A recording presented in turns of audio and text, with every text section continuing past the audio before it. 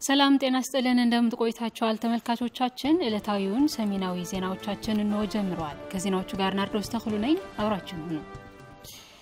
በትግራይ ክልል የሕዝቡን ደህንነት በነጻነት የመንቀሳቀስ መብትና የሰብአዊ መብት ለማስከበር እንዲሁም ሰብአዊ እርዳታ በፍጥነት ለማዳረስ ወጥ የሆነ የኬላ ፍተሻ መመሪያ መውጣቱን ተገለጸ። በወጣ አዲስ መመሪያ ዙሪያ የትግራይ ክልል ጊዜያዊ አስተዳደር ከባለድርሻ አካላት ጋር ውይይት አካሂዷል። ፍሬወይኒ መንገሻ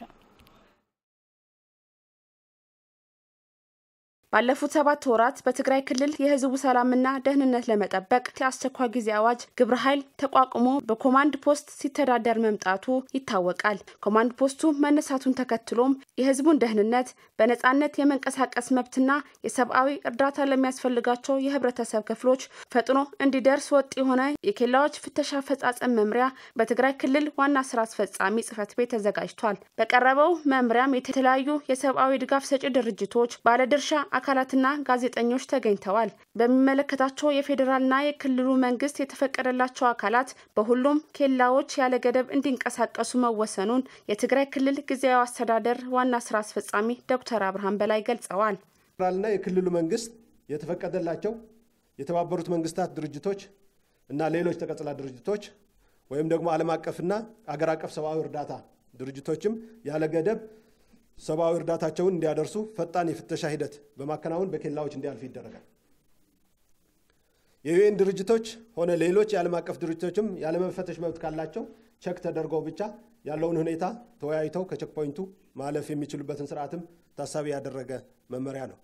ዓለም አቀፍና አገር አቀፍ ጋዜጠኞችም ፍቃድ እስካላቸው ድረስ በክልሉ ያለ ገደብ መንቀሳቀስ ተፈትሸው በኬላዎች check ተደርገው ህጋዊ መሆናቸው ተረጋግጦ እንዲንቀሳቀሱ ይደረጋል ነው።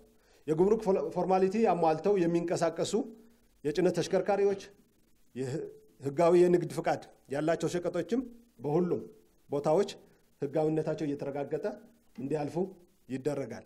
ለእርሻ አገልግሎት የሚውሉ የማዳበሪያ ምርጥ ዘር እና ግለሰብ በግለሰብ ደረጃም የሚያዙ ለግል አገልግሎት የሚውሉ እቃዎችም ተፈትሸውና ህጋዊነታቸው ተረጋግጠው በኬላዎች በፍጥነት እንዲያልፉ ይደረጋል ማለት ነው።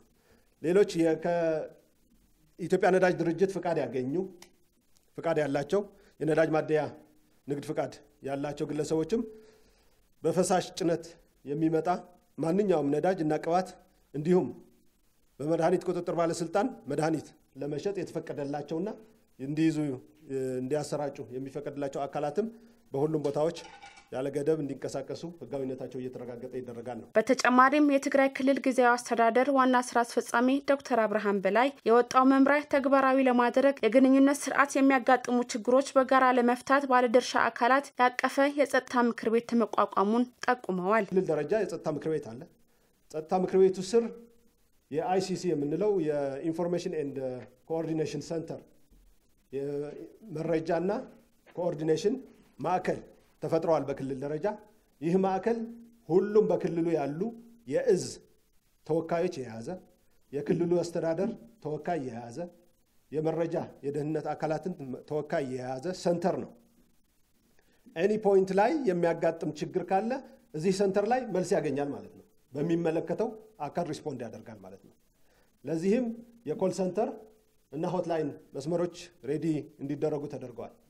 so ከ active ሆኖ ይጀምራል ማለት ነው። 9500 እንደ call center እና አራት line ኦች ደግሞ ሞባይል line ኦች ቀጥታ ለዚህ ብቻ respond የሚያደርጉ እንዲሆኑ ተደርገው የሰብአዊ እርዳታ ለሚያስፈልጋቸው ህብረተሰብ ክፍሎች እርዳታ የጫኑ ተሽከርካሪዎች ቅድሚያ እንዲሰጣቸው መምሪያ ወጥቷል ያሉት ደግሞ የሰሜን እዝ ዋና አዛዥ ሌተናል ጀኔራል ክንዱ ገዙ ይናገራሉ። በኬላ ላይ ፍተሻ የማድረግ ኃላፊነት የተሰጣቸው ክፍሎች ይህን መመሪያ በማስፈጸም ሂደት ተጨማሪ ትዕዛዞችም ተላልፈዋል። ይሄ በሰሜን እዝ ቀጠናም በደቡብ እዝም በሌሎች እዝም በሁሉም የእዝ ቀጠናዎች ተጨማሪ መመሪያው check point ላይ የሚኖረውን ቆይታ ለማሳጠር ሀያ ሰላሳ ተሽከርካሪዎች ሰልፍ ይዘው ቢቆሙ ቅድሚያ የሚሰጠው እርዳታ ለጫኑ፣ ማዳበሪያ ለጫኑ፣ ምርጥ ዘር ለጫኑ እና ፈጣን ለህፃናትና ሴቶች መድረስ ያለባቸው በተለያዩ ኤጀንሲዎች መቅረብ ያለባቸውን አልሚ ምግቦች የያዙ ተሽከርካሪዎች የቅድሚያ ቅድሚያ እንዲሰጣቸው ትዕዛዝ ተላልፎ ተግባራዊ መሆን ጀምረዋል። በወጣው መምሪያ የማይገዙ አካላት ተጠያቂ እንደሚሆኑም ምክትል ዋና ስራ አስፈጻሚ ኮሚሽነር ግርማይ ካሳይ ገልጸዋል። ይህንን የእርዳታ እቃ ይዘው የሚንቀሳቀሱ ማድረግ ያለባቸው ነጥቦችን ያስቀምጣል። ምን ምን ማድረግ እንዳለባቸው ለፍተሻው መተባበር፣ የሚያስፈልገውን ነገር ማሳየት፣ ሰነዱን ማሳየት፣ ከዛ ደግሞ በ criteria ው መሰረት ፍተሻውን በአግባቡ እንዲከናወን ሙሉ ትብብር ማሳየት እንዳለባቸው ሁሉ በእኛ ወገን ደግሞ ይህንን ካላደረግን ተጠያቂነቱ clearly አስቀምጦ ማን አካል በምን ሰዓት ላይ ይጠየቃል የሚል ነገር አለ። ቅድም ጀነራል የሚያስቀመጡ አንዱ የተለያዩ ቦታዎች ላይ የተለያዩ ጥቃቅን የሆኑ ችግሮች ሊያጋጥሙ ይችላሉ። ሌሎችም ከፍ ያለም ችግር ካለ ይህንን ሊፈታ የሚችል twenty four seven የሚያገለግል call center የተቋቋመውም የነበረው የ communication ችግር ለማስወገድ በተያያዘ ዜና በቀረበው የኬላዎች ፍተሻ መመሪያ የውይይት መድረክ ላይ የተለያዩ ጥያቄዎችና ሀሳቦች ከሰብአዊ ድጋፍ ሰጪ ድርጅቶችና ከባለድርሻ አካላት ጋር የተነሳ ሲሆን ምላሽና ማብራሪያም ተሰጥቶባቸዋል። ድጋፍ ሰጪ ድርጅቶች ከጸጥታ አካላት ጋር ተቀናጅተው መስራት እንዳለባቸውም ተገልጿል። ማዘመኮንን በትግራይ ክልል ህዝቡ በነጻነት እንዲንቀሳቀስና በተለይም የሰብአዊ እርዳታ ለሚያስፈልጋቸው የህብረተሰብ ክፍሎች እርዳታው ፈጥኖ እንዲዳረስ ወጥ የሆነ የኬላዎች ፍተሻ መመሪያ የያዘ በትግራይ ክልል ጊዜያዊ አስተዳደር ጽህፈት ቤት የጸጥታ ምክር ቤት መቋቋሙ ይታወቃል። የወጣው መመሪያም ለተለያዩ ሰብአዊ ድጋፍ ሰጪ ድርጅቶችና ባለድርሻ አካላት በጊዜያዊ መስተዳድር ዋና ስራ አስፈጻሚ በኩልም ቀርበዋል።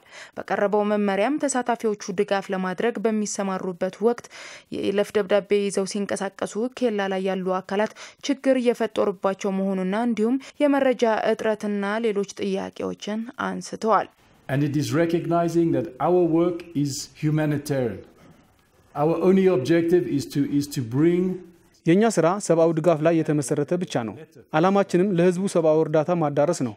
ስለሆነም ፍቃድ ካገኘን ከዚህ የበለጠ ስራ እንሰራለን።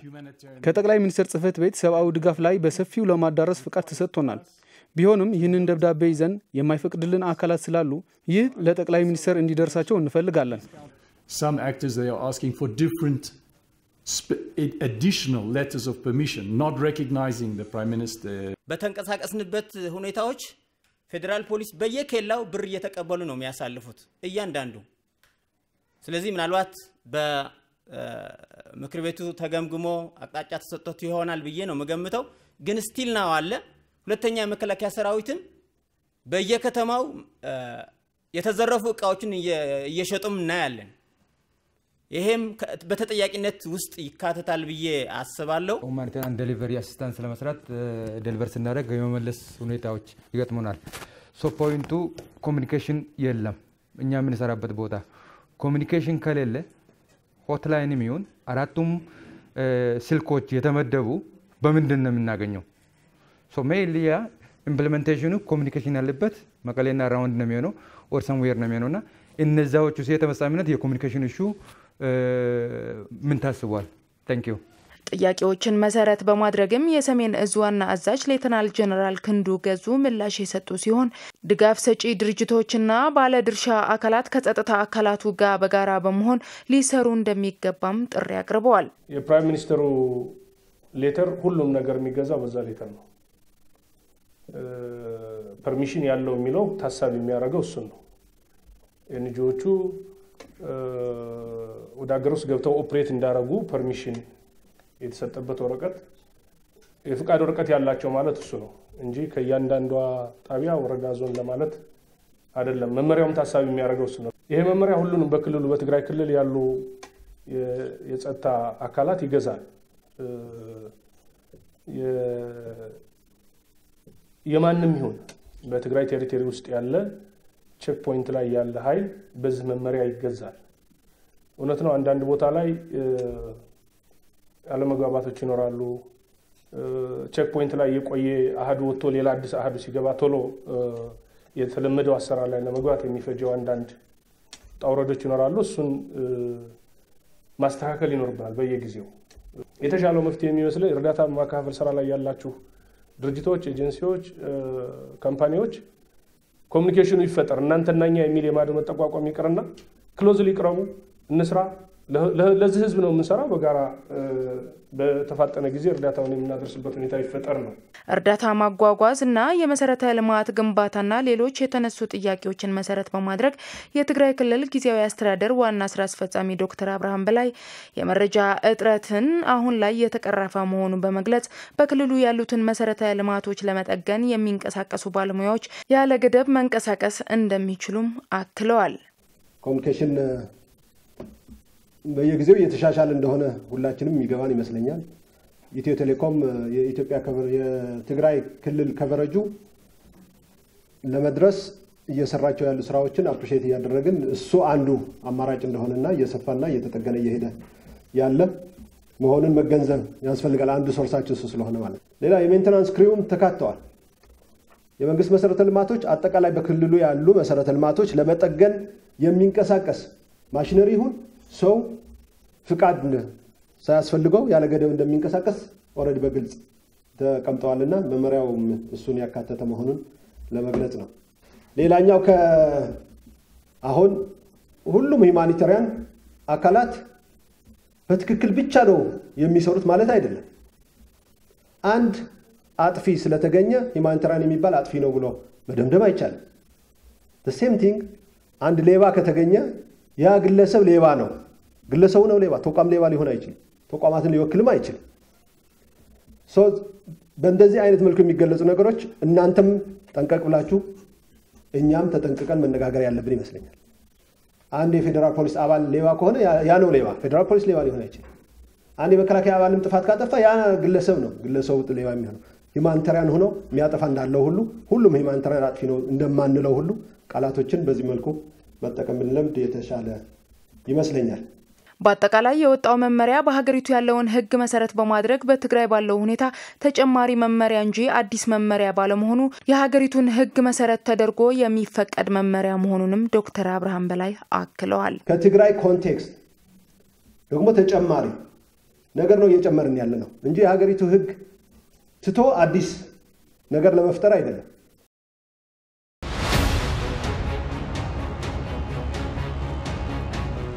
ወጣት አጀንዳ ማስፈጸሚያ ሳይሆን ራሱ አጀንዳ መሆን አለበት። እኔ እዛ ሶስቴ ሲበላ እዚህ በቀን ስንቴ ትበላ ይሁን ይሄ ወንድሜ እዚህ ከተማ ያለው አይደለም ገጠር ላይ ያለችው ያለው። እሺ እኔ ትንሽ ራሴን ካመመኝ የት ሆስፒታል ሄጄ ፓራሲታሞልም የትኛውም ገዝቼ ይታከማለሁ። እዚህ ያለችው እት ወንድሜ ትታከም ያን chance አላት። ሙሉ በሙሉ ያለው ችግር ቆርጠን አውጥተን እጅ ለእጅ ተያይዘን ህዝባችን ወደ normal ህይወቱ እንዲገባ ለማድረግ ከጎናችን እንዲቆሙ የምንጠይቃቸው ይሄን ፕሮግራም እውን ለማድረግ ሰው መሆን በቂ ነው። የትግራይ ክልል ትምህርት ቢሮ ትምህርት ለማስጀመር ከተለያዩ አካላት ጋር እየሰራ መሆኑን አስታወቀም። ቢሮ መቀለ ከተማ ከሚገኙ የሃይማኖት አባቶች በሰላም ጉዳይ እንዲሁም ትምህርት በማስጀመር ዙሪያ ውይይት አካሂደዋል። ፍርቱና ገብሩ ዝርዝር አላት። የትግራይ ጊዜያዊ አስተዳደር ትምህርት ቢሮ የተጀመሩ የመማር ማስተማር ሂደት ለማጠናከር ሰፊ ስራዎችን እየሰራ እንደሚገኝ ይገለጻል። በተለይም ተማሪው ወደ ትምህርት ቤቱ ለመመለስ ከሚመለከታቸው አካላት ምክክር እያደረገ ይገኛል። በተመሳሳይም የመቀለ የኦርቶዶክስ ቤተ ክህነት ጋር ቢሮ ውይይት አድርጓል። የውይይቱ ዋና ዓላማም ይላሉ የትግራይ ጊዜያዊ አስተዳደር ትምህርት ቢሮ ምክትል ኃላፊ የሆኑት ኢንጂነር አስቴር ይትባረክ እስቲ ቤተ ክህነት የሚባለው በትምህርት ላይ ምክረ ሀሳብ እንዲሰጡንና እንዴት ማስኬድ እንዳለብን ከነሱ ከዚህ በፊትም ያው ትምህርትም ከየት እንደመጣ ከቤተ ክህነት ነው የመጣው። ሶርሱ ከቤተ ክርስቲያን ነው የመጣው። ስለዚህ የአባቶች ሊቃውንት የቤተ ክርስቲያኗ ሀሳብ ስለተፈለገ ነው። ያንን ሀሳብ እንደገና ካለው ከሳይንሳዊ ከዓለማዊ ተደርጎ ተቀናጅቶ ልጆችን እንዴት አድርገን ወይም እንደገና ባለው ነባራዊነት ያለው የሰላም ችግር እንዴት መፍታት እንዳለብን ለመወያየት ነው። የሃይማኖት አባቶች ለምእመኑ ማህበረሰብ ቅርብ እንደመሆናቸው የህብረተሰብን ችግር አካል በመሆን ለመፍትሄውም አጋዥ ናቸው የተባለ ሲሆን በመድረኩም በርካታ የህብረተሰብ ጥያቄዎችን አቅርበው የተወያዩ ሲሆን በኢንጂነር አስቴርም ምላሽና ማብራሪያ ተሰጥቷል። ኣብዛ ሰዓት ኣብዛ ግዜ እዚኣ ኮይናይ ደቀይሲ ኣብ ትምህርቲ በፂሖም ዝምለስሉ በዚህ ወቅት ልጆቼ ትምህርት ቤት ተምረው የሚመለሱበት የህይወታቸው ዋስትና ሳላቅ እንዴት ብዬ ነው የምልካቸው? ናብ ቤት ትምህርቲ ናይ ናይ ውሕስና ኣሚነ እያ ንክሰዶም ደቀይ ተሰቡ ሙሉ እንዲሕላ መረቦተ ኮይዱ ከምቲ ንሰምዖ ብእዝና ማለት እዩ የተፈናቀለው ሰው መጀመሪያ ወደ ቤቱ ይመለስ፣ ግብርናው ይጀመር፣ ማዳበሪያ እንሰጠዋለን፣ ችግር ካለም እንደጋገፋለን እንደምትሉ እናውቃለን። በተግባር ግን አሳዩን። ከትምህርት ቤት አውጧቸውና በሰላም ድጋፍ አድርጋችሁ ሸኟቸው። ከዛ ተማሪዎቹ በሰላም ይማሩ። የቤተ ክርስቲያኗ ጽኑ ፍላጎት ነው። አሁን ግን የት ሆነው ነው የሚማሩት የሚል ጥያቄ አለ። በዚ ግን አበይኑ ኮይኖም ቆልዑ ይመሃሩ ተምሃረ ሰብ ተልዩ የተማረ ሰው ካለ ሀገርን ይገነባል። ያልተማረ ሰው ደግሞ የተገነባውን ያፈርሳል። ስለዚህ ቅድሚያ መሰጠት ያለበት የሰላም ጉዳይ ነው። ቤተ ክርስቲያን ለማገልገል በሌሊት አንጓዝም። ከፍተኛ ስጋት ላይ ነን። ይህ ስጋት በመቅረፍ አካባቢያችንና መቀለ ሰላሟ ምን ይመስላል የሚለውን ቅድሚያ ልንሰራበት ይገባል። ኣብ መቐለ ከመይ እኒኦ ሰላም ትምህርት ቢሮ ሕጊ ከቁሞ አይኽእልን። ትምህርት ቢሮ ህግ ሊያቆም አይችልም።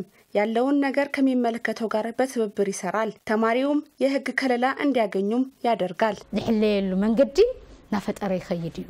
የሃይማኖት አባቶች የተወያዩባቸው ርዕሰ ጉዳዮች ወቅታዊና አስፈላጊ መሆኑን በመግለጽ ጊዜያዊ አስተዳደሩ እንደነዚህ አበይት ጉዳዮች ላይ ተሳታፊ እንዲሆኑ ማድረጉ ጥሩና ቀጣይነት እንዲኖረው የሚገባ ነው ብለዋል።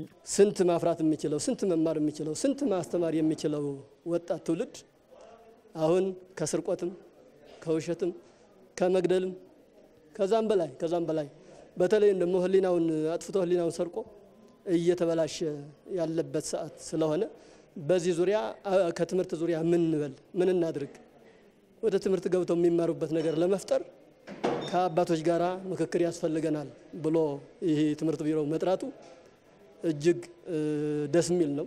ለሚቀጥለው ጊዜ ተተኪ ትውልድ እንደሚያሳጣ አለመማር እናውቃለን። ነገር ግን መብላት መኖር ስለሚቀድም ያ ከመሆኑ በፊት ይህን ለትምህርት የሚያዘጋጅ ነገሮችን ሁሉ ያጡ ሰዎች መጀመሪያ ቢያገኙና ወደዛ ቢሄዱ መልካም ነው የሚል ሀሳብ ነው ያለን ሁላችን። ኢንጂነር አስቴር በበኩላቸው ቢሮው ለሰላም ተግቶ እንደሚሰራና የሃይማኖት አባቶችም ከጎናቸው እንዲሆኑ ጠይቀዋል። ምን ማድረግ እንዳለብን እንደ ሃይማኖት አባት ህዝቡ ተስፋ ሰጪ የሆነ ነገር እንዲያደርጉልን ነው የጠየቅናቸው። የአንዲች ሀገር ሰላም የሚረጋገጠው ህዝቡ ሲኖር ነው። ለሰላም ሁሉም ትኩረት ሰጥቶ ሊንቀሳቀስ እንደሚገባናም የህዝቡ ሰላምና ጸጥታ ከተረጋገጠ ሁሉም ወደ ትምህርት እንዲመለስ ቤተ ክርስቲያኑ እንደምትሰራ አሳውቀዋል። በመቀለ ከተማ የተጠለሉ ተፈናቃዮች በተጨናነቁ ክፍሎች እየኖሩ በመሆናቸው ለኮቪድ-19 ተጋላጭነታቸው ከፍተኛ መሆኑን የሕክምና ድጋፍ የሚሰጡ አካላት ገልጸዋል። ያነጋገርናቸው ተፈናቃዮቹም የኮቪድ-19 ክትባት መውሰድ አስፈላጊ በመሆኑ መንግስት እድሉን እንዲያመቻችላቸው ጥሪ አቅርበዋል። ዊንታ ዘላለም ተመልክተዋለች። ኮቪድ-19 በዓለም አቀፍ ሆነ በሀገራችን ዋነኛ ስጋት ከሆነ ውሎ አድሯል። በተለይም በትግራይ ክልል በተፈጠረው ሁኔታ የተመቻቸ የጤና ተቋማት አገልግሎት ባለመኖሩና አብዛኛው ህብረተሰብም ከቀዩ ተፈናቅሎ ስለሚገኝ የመስፋፋት እድሉ እንደጨመረ በጤና ባለሙያዎች ሲገለጽ ቆይቷል። በዚህም በሚደረጉ ምርመራዎች ሁለት ሶስተኛ የሚሆነው በኮሮና ቫይረስ ተጠቂ ሆኖ እንደሚገኝም የማዕዶት በጎ አድራጎት አባልና የመቀለ ከተማ አስተባባሪ የሆኑት ዶክተር ሀይላይ ተክለ ኢየሱስ ይናገራሉ። የነበረው ስፋቱን ስናየው almost መጀመሪያ ከደረጉት የምርመራ ናሙናዎች ከመቶ አርባ አካባቢ ሰው ምርመራ ወደ አርባው እና ከዛ በላይ positive ሆነው ይገኝ ነበርና ትንሽ ብዙ ነው። ይሄ ደግሞ thirty percent thirty three percent ብዙ ቁጥር ነውና እንደ ዶክተር ሀይላይ ገለጻ በተፈናቃዮች መጠለያ የግንዛቤ ማስጨበጫ ስራዎች ፕሮጀክት ተቀርጾ እየተንቀሳቀስንበት ነው ያሉ ሲሆን የተለያዩ የቁሳቁስና ሌሎች እጥረቶች ስላሉን ግን ከዚህ በላይ መስራት ይጠበቅብናል። በተጨማሪም መንግስት ያሉትን ጉድለቶች አይቶ እንዲያሟላም ጠይቀዋል። የኦክሲጅን አቅርቦት የለም፣ ሲሊንደሮች የሉም። ያለችን የ treatment center ም አቅሟ ትንሽ ነው። ለዛም ነው ህዝቡ case ኡ እየበዛ የኛ ያለን አቅርቦት እያነሰ ስለመጣ ነው ወደ IDP site ድረስ ተወርዶ እዛ isolation ጣቢያ የተቋቋሙ። ይሄ ደግሞ በህዝብ ተቀባይነት የለውም ስልሽ ከግንዛቤ ጋር ተያይዞ አንድ IDP site የሚኖረው ሰው ደግሞ በጣም crowded ነው፣ የተጨናነቀ ነው። በአንድ ክፍል ውስጥ ሰባና ሰማንያ እየተኙበት ለኮቪድ ብለሽ ትንሽ ለየብቻ ሆኑ ስድስት ሜትር አንድ ሜትር ተራራቁ ማለት morally ም በሳይንቲፊክሊም ትንሽ ትክክል አይመስለኝም እና ይሄ ላይ ቢሰራበት መንግስት ተስፋ አረጋለሁ።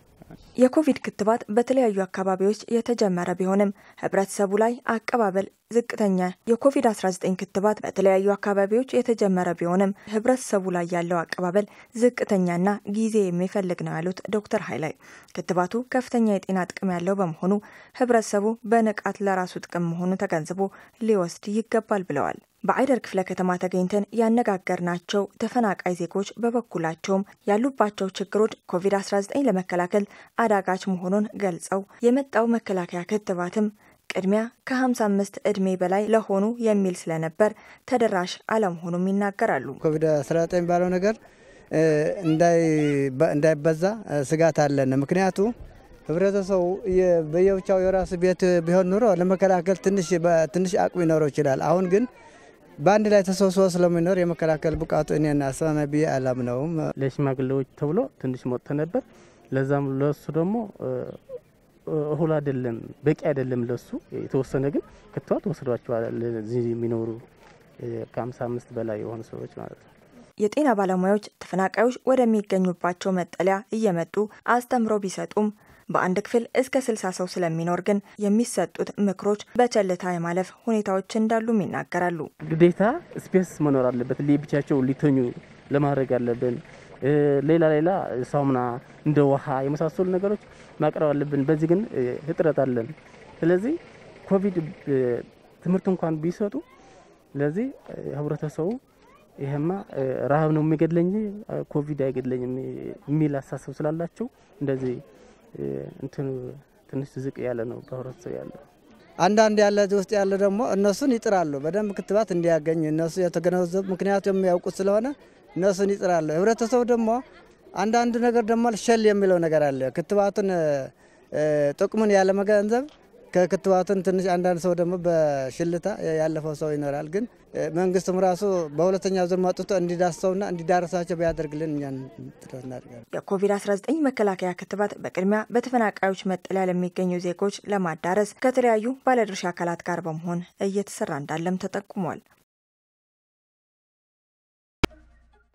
በትግራይ የተለያዩ የበጎ አድራጎት ድርጅቶች ቢኖሩም ፍትሐዊ ሆኖ ለሕዝብ በማዳረስ በኩል ችግሮች እንደነበረባቸው ተገለጸ። ፍትሐዊ በሆነ መልኩ ለማዳረስ ያልተቻለበት ምክንያት ድርጅቶቹ በመቀናጀት ባለመስራታቸው መሆኑን ተገልጿል። ስለ ሻጎስ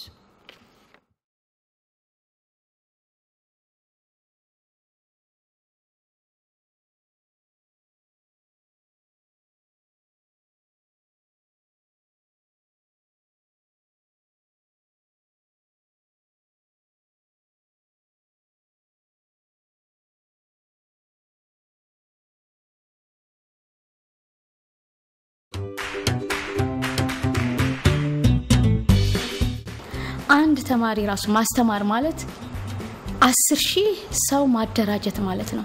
ለትግራይ ትውልድ ነው የምናስበው። ምክንያቱም ይህ ትውልድ አይደለም ትግራይን ኢትዮጵያን መጥቀም የሚችል ትውልድ እንደሆነ ስለምታውቁ ነው። ትምህርት ስለተጀመረ ምንም የሚያስፈራ ነገር እንደሌለን ልናገር እፈልጋለሁ። እኔ ትምህርት በመምጣቴ በጣም ደስ ብሎኛል። ያለፉትን ጊዜ ደግሞ ለመተካት እየጣርኩ ነው። ካልተማርነ መደማመጥ አይቻልም። ወደ ትምህርት ገበታቸው እንዲመለሱ የማናደርግ ከሆነ አሁንም ትግራይ የባሰ ጨለማ ውስጥ ነው የምትገባው ማለት ነው። መማር በቃ ሁሉም ነገሬ ነው። ልጆች ከዚህ አዘቅት ወደ እንደ ማር እንደ ስኳር የሚጥም ትምህርት ላይ እናስገባቸው ነው። ተመልካቾቻችን ቀደም ሲል ያስተዋወቅናችሁ አርዕስተ ዜና ዜና እንደደረሰን የምናቀርብ ይሆናል። ወደ ቀጣዩ ዜና እንሻገራለን። የግብፅ አልአዝሂር ኢስላማዊ ተቋም መሪ ሼህ አህመድ ጠይብ የአረብ ሀገራት ከግብፅና ሱዳን ጎን ቁሙ ማለታቸውን ተገቢነትና ተቀባይነት የሌለው ሀሳብ ነው ሲል የኢትዮጵያ እስልምና ጉዳዮች ጠቅላይ ምክር ቤት አስታወቀም። የጠቅላይ ምክር ቤቱ ሰብሳቢ ሀጂ ዑመር ኢትዮጵያ የአባይን ውሃ የመጠቀም መብቷን ማንም ሊነጥቃት እንደማይችል ገልጿል። የዋልታ ዘገባ ብርቱካን ጌታዬ ታቀርቧለች። ግብጽ ኢትዮጵያ ከድህነት ለመውጣት የምታደርገውን የልማት ጉዞ ለመገዳደር ዓለም አቀፍ ተቋማትና መንግስታት ጫና እንዲፈጥሩ ስትጥር ቆይታለች። የታላቁ ህዳሴ ግድብ ግንባታና የውሃ ሙሌትን ለማኮላሸት ያደረገችው ጥረቶች ባይሳኩም በኳታር በተካሄደው የአረብ ሊግ ስብሰባ ጉዳዩን በማንሳት ኢትዮጵያ ላይ ጫና ለመፍጠር የሄደችው መንገድ አሁንም ተኝታ ላለማደሯ ማሳያ ነው። የግብጽ አልአዝሃር ኢስላማዊ ተቋም መሪ ሼህ አህመድ ጠይብ የአረብ ሀገራትን ከግብጽና ከሱዳን ጎን ቁሙ በማለት ያስተላለፉት መልእክት ከሃይማኖት ስርዓት ውጭና የሚወገዝ ተግባር መሆኑን የኢትዮጵያ እስልምና ጉዳዮች ጠቅላይ ምክር ቤት ገልጿል። ኢትዮጵያ የምትከተለው ፍትሐዊ ተጠቃሚነትን ያማከለ አፍሪካዊ አስተሳሰብ ሆኖ ሳለ ግብጽና ሱዳን ተቃርነው እኛ ብቻ እንጠቀም ማለታቸው ተገቢነት የሌለውና ትክክል ያልሆነ ሀሳብ ነው ሲሉ የምክር ቤቱ ሰብሳቢ ሀጅ ኡመር ኢድሪስ ተናግረዋል። ኢትዮጵያ የአባይ ውሃ የመጠቀም መብቷን ማንም ሊከለክላት እንደማይችል በመግለጽ የእስልምና አስተምህሮም የውሃ አጠቃቀምን አስመልክቶ ፍትሐዊ ፍርድ ያስቀምጣል ነው ያሉት ሀጂ ኡመር። ምስሮችና ሱዳኖች በመሰረቱ ሙስሊም ናቸው። ሙስሊም እንደመሆናቸው ሃይማኖትን መመልከት ያስፈልጋቸዋል። እንግዲህ ውሃ ሶስት አይነት ነው። አንድ ባህር ነው፣ ሁለተኛ ምንጭ ነው፣ ሶስተኛ ወራጅ ወንዝ ነው። ምንጭና ባህር የሆነ እንደው ሰውየው ግሉ መሬቱ ላይ ተሆነ የግሉ ሀብት ነው። ራሱ ተጠቅሞ የተረፈው እንደ ይሰጣል፣ ያልተረፈው እንደ ይቀራል። ወራጅ ወንዝ እንደኒ ሊሆን እንደው ውሃው የሚወርድበት አገር ሁላ በአጠቃላይ ድርሻ አለው፣ የጋራ ነው። አንድ አገር ወይንም የተለየ ህዝብ የኔ ነውና እኔ መጠቀም አለብኝ ብሎ መከልከል አይችልም። የኢትዮጵያ መንግስትና ህዝብ የአባይን ውሃ በኩልነት እንጠቀም በሚል የሚያራምዱትን አቋም ባልተገባ መንገድ መተርጎም ሆነ ማየት እንዲሁም ሃይማኖታዊ ቅርጽ ለማስያዝ መሞከር ሃይማኖታዊ መሰረትና ተቀባይነት የለውም ብለዋል። የሚስር ህዝቦችና መንግስት ሙፍቲው እንዲሁም የሱዳን ህዝቦችና መንግስት ይህንን አይተው ወደ ሰላም ተመልሰው ወደ መመካከር ተመልሰው የአፍሪካን ችግር አፍሪካ ሊፈተው ይገባል። ሌላም አያስፈልገንና በመቀራረብ በመመካከር ችግራችንን መፍታት ይገባል። በትግራይ የተለያዩ የበጎ አድራጎች ድርጅቶች ቢኖሩም ፍትሐዊ ሆኖ ለህዝብ ማዳረስ በኩል ችግሮች እንደነበረባቸው ተገለጸ። ፍትሐዊ በሆነ መልኩ ለማዳረስ ያልተቻለበት ምክንያት ድርጅቶቹ በመቀናጀት ባለመስራታቸው መሆኑን ተገልጿል። ስለ ሻጎስ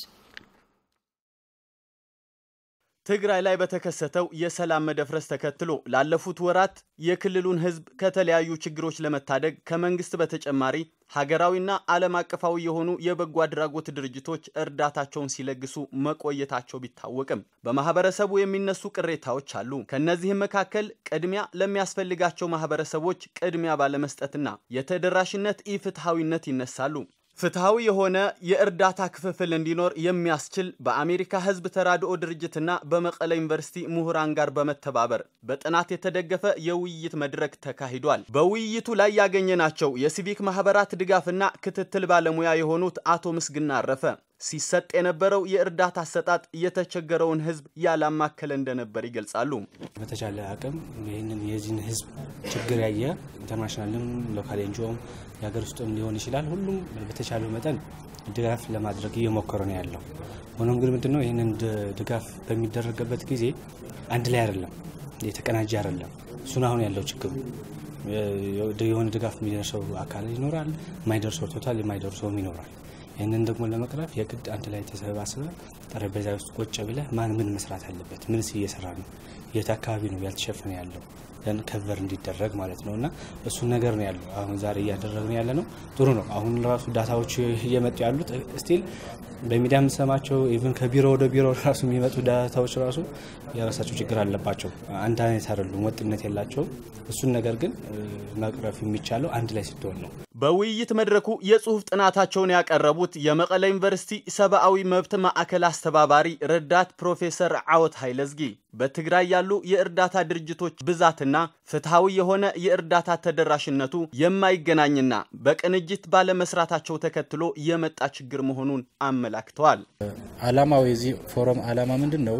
በትግራይ ውስጥ አሁን በተከሰተው ችግር ከመቶ 35 በላይ የሰብአዊ ድጋፍ የሚሰጡ ድርጅቶች እየተንቀሳቀሱ ነው። የእነዚህ ድርጅቶች እንቅስቃሴ coordinated ነው ወይ? በተቀናጀ መልኩ ነው ወይ እየሰሩ ያሉ? effectively የህዝቡን ችግር address እያደረጉት ነው ወይ ለሚሉ ጥያቄዎች መፍትሄ ለማበጀት የምክክር መድረክ ተብሎ ነው የተዘጋጀው። ስለዚህ ዓላማው በትክክል እነዚህ አሁን ዛሬ የተሰበሰቡት ከ UN agencies አሉ፣ በአገር ደረጃ የተመዘገቡ NGO ዎች አሉ፣ በክልል ደረጃ ደግሞ የሲቪል ማህበራት ማህበረሰብ እንትኖች አሉ፣ ድርጅቶች። ስለዚህ በተቻለ አቅም ይህንን address ለማድረግ ዛሬ የ consultative ወይም ደግሞ የምክክር እና የትውውቅ የ linking መድረክ ነው ይሄ። በውይይት መድረኩ የተሳተፉት የመቀለ ዩኒቨርሲቲ የ emergency center ኃላፊ ዶክተር አርአያ ገብረ ኢየሱስ በውይይት መድረኩ የቀረበው የመፍትሄ ሀሳብ ችግሮችን የሚቀርፍ ነው ብለዋል። ከውይይቱ እንደተረዳሁት የመናበብ አንድ ላይ ሆኖ የመሄድ ችግር እንዳለ አይቻለሁ። ከማን ጋር እንሰራለን፣ የት እንሰራለን፣ መቼ እንሰራለን የሚለውን አሁን ችግሩ በዚሁ ይፈታል ብለን ተስፋ እናደርጋለን። ረዳት ፕሮፌሰር ዓወት ኃይለዝጊ ከውጭ የሚመጡ እርዳታዎች ብቻ ሳይሆን ማህበረሰቡ የመረዳዳት ባህሉን በማሳደግ የመፍትሄ አካል መሆን እንደሚችል ይገልጻሉ። በዓለም አቀፍ ማህበረሰብ በኤንጂኦ ምናምን የሚፈታ ችግር አይደለም። ስለዚህ እንደተባለውም ቅድም ሰምተህ ከሆነ totally UN agencies ገብተዋልና እነዚህ ይፈቱልናል ችግራችን ብለን ከወረወርነው አትብል ሌላ ችግር ነው የሚሆነው እና ማህበረሰቡ ራሱ ቢረዳዳ መረዳዳት resource ብቻ አይደለም፣ ሀሳብ share ማድረግ አንድ ትልቅ ነገር ነው። ያለው resource ም ቢኖር ቢታገዝ ከዛ ከትላልቅ ኤጀንሲዎች የበለጠ ከሚያደርጉት የበለጠ የራሳችን ችግር solve ማድረግ እንችላለን። በጥናቱ ላይ የእርዳታ አሰጣጡ ተደራሽ እንዳይሆን እና በመቀለ አካባቢ ብቻ እንዲወሰን ምክንያት ነው የተባለው የጸጥታና የደህንነት ጉዳይ መሆኑ ተገልጾ ከጸጥታ አካላትና መንግስት በኩል ብዙ ስራዎች እንዲሰሩ መልእክታቸውን አስተላልፈዋል። በመጨረሻም በዚህ ዓመት የኢትዮጵያ የፋይናንስ ዘርፍ በተለያዩ መመዘኛዎች ጥሩ የሚባል ደረጃ ላይ እንደሚገኝ የብሔራዊ ባንክ አስታወቀ። በበጀት ዓመቱ የውጭ ንግድ ገቢ ማደግና ሌሎች በመንግስት የተወሰዱ እርምጃዎች የመጠባበቂያው የውጭ ምንዛሬ ክምችት በተሻለ ሁኔታ ላይ እንዲገኝ ማስቻሉንም ባንኩ አብራርተዋል። ለኢቢሲ ዘገባ ሔዋን ኃይለማርያም። የኢትዮጵያ ብሔራዊ ባንክ ገዢ ዶክተር ይናገር ደሴ በሰጡት መግለጫ ወቅታዊ የፋይናንስ ዘርፍ ሁኔታን፣ የውጭ ምንዛሬ ክምችት፣ የዋጋ ግሽበትና ቀጣይ የኢኮኖሚ ምልከታን የተመለከቱ ጉዳዮችን አንስተዋል። የሀገሪቱ የፋይናንስ ዘርፍ በዚህ ዓመት ባለፉት 11 ወራት በኮቪድ ወረርሽኝ ተጽዕኖ በአንዳንድ አካባቢዎች የተከሰቱ የጸጥታ ችግሮች ውስጥ ሆኖ በተለያዩ መመዘኛዎች ጤናማ የሚባል ሁኔታ እንዳለው ዶክተር ይናገር ገልጸዋል። የባንኮች የቁጠባ መጠን ጨምሯል። ባንኮች የሚሰጡት የብድር መጠንም እንደዚሁ ጨምሯል። በአጠቃላይ በባንኮች በኩል ያለው የጤናማነት መለኪያዎች የምንላቸው አሉ። እነሱ በጥሩ ሁኔታ ላይ ነው ያሉት። እዚሁ ላይ ሳናነሳ ማላልፈው በኮቪዱ ምክንያት የተሰጠ ብድር የመሰብሰብ በተመለከተ ቅናሽ አሳይቷል። አዲስ የብር ኖት በስራ ላይ እንዲውል በመደረጉ 7.2 ሚሊዮን አዳዲስ የባንክ ሂሳቦች መከፈታቸውን ዶክተር ይናገር ገልጸዋል። በትግራይ ክልል በነበረው የጸጥታ ችግር ምክንያት አገልግሎት አቋርጠው የነበሩ ባንኮች አሁን ላይ 50 በመቶ ያህሉ ወደ ስራ መግባታቸውንም ነው የተናገሩት። በዚህ በጀት ዓመት 3.2 ቢሊዮን ዶላር በባንኮች በኩል ብቻ ከሐዋላ ከውጭ ሀገር ከተላከ ገንዘብ ደግሞ 2.6 ቢሊዮን ዶላር መገኘቱን ያመለከቱት ዶክተር ይናገር በእነዚህና መንግስት በወሰዳቸው የተለያዩ ማሻሻዎችና እርምጃዎች የውጭ ምንዛሬ ክምችት በተሻለ ደረጃ ላይ እንደሚገኝ ማስቻላቸውን ጠቁመዋል። የመጀመሪያ ሊባል የሚችል ነው። ከፍተኛ ኤክስፖርት እድገት ነው በዚህ ዓመት የታየው። ከዚህ ውስጥ ትልቁ ወርቅ ነው። የወርቅ 605 ሚሊዮን ዶላር በ11 ወራት ውስጥ ተገኝቷል። በወርቅ ላይ ይህን ያህል ከፍተኛ ለውጥ የመጣው ያው የፖሊሲ ለውጥ በማድረጋችን ነው። በተለይ በብሔራዊ ባንክ በኩል የወርቅ መግዣ ዋጋን በማሻሻላችን የመጣ ውጤት ነው። እነዚህ በአጠቃላይ ተደማምረው ስናይ የሀገራችን የውጭ reserve ወይም ደግሞ መጠባበቂያ የውጭ ምንዛሬ ግኝት ወይም ክምችት reserve ለምንጠራው በተሻለ ደረጃ ላይ የሚገኝና መንግስት የብር መግዛት አቅምን ከዶላር አንጻር ሊቀንስ ነው በሚል በአንዳንድ አካላት የሚነሳው ሀሳብ መሰረተ ቢስ መሆኑን የብሔራዊ ባንክ ገዢ ዶክተር ይናገር ደሴ ገልጸዋል። በሶስት አመት ከ IMF ጋር የጀመርነው ፕሮግራም አለን። የአንድ አመት ተኩል ሄደናል። ቀሪ አንድ አመት ተኩል አለን። የ devaluation ን በተመለከተ አሁን ከሚደረገው መደበኛ devaluation ውጭ የተለየ የሚደረግ ነገር የለም። የዋጋ ግሽበትን ለመቆጣጠር መንግስት የተለያዩ እርምጃዎችን እየወሰደ መሆኑን ያነሱት ዶክተር ይናገር ይህም ተጠናክሮ ሊቀጥል ይገባል ብለዋል። መመሪያዎችን አዘጋጅተናል። በእነዚህ መመሪያዎች አማካኝነት በኢኮኖሚ ውስጥ የሚንቀሳቀሰውን የገንዘብ መጠን መገደብ የምንችልባቸው መሳሪያዎች አሉን። በዛ ተግባራዊ እናደርጋለን ብለን እናስባለን። ይሄ አንዱ ነው። ሁለተኛው የማምረቱ ዘላቂ መፍትሄ እስከሚያመጣ ድረስ ከአጭር ጊዜ ማኳያ ቢሆን መንግስት በጣም የተመረጡ የፍጆታ እቃዎችን ወይም ምርቶችን ገዝቶ እንዲያቀርብ እየተደረገ ነው። የኢትዮጵያ ኢኮኖሚ በቀጣይ ጊዜያት የተሻለ አፈጻጸም እንደሚኖረው የሚያመለክቱ ሁኔታዎች እንዳሉም ነው የተናገሩት። ከተለያዩ ሀገራት በባይላተራልም በመልቲላተራልም መልኩ የምናገኘው የውጭ ምንዛሬ እየጨመረ ይሄዳል የሚል እምነት ነው ያለው። አንዳንዶቹ ፕሮጀክቶች በበጀት መልክ የተያዙ የመዘግየት ሁኔታ አሁን ባለው በተፈጠረው ሁኔታ መዘግየት ሁኔታ ቢኖርም ይሄ ሁኔታዎች ሲሻሻሉ ይቀየራል የሚል እምነት ነው ያለን። ስለዚህ በአጠቃላይ ተደምሮ ተቀንሶ የተሻለ ነገር እንጠብቃለን። ለዕለቱ ያልናቸውን ዜናዎች በቀጥታ ወደ እናንተ ሲተላለፉ የቆዩትን ናቸው። ስለተከታተላችሁን እናመሰግናለን። በያላችሁበት መልካም ጊዜ፣ መልካም ቆይታ